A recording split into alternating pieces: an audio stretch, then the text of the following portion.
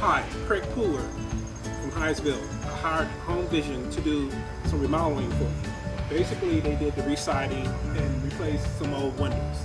I cannot say enough about Home Vision. They came in, I had other competitors come in, Home Vision came in and gave me the price that I was expecting.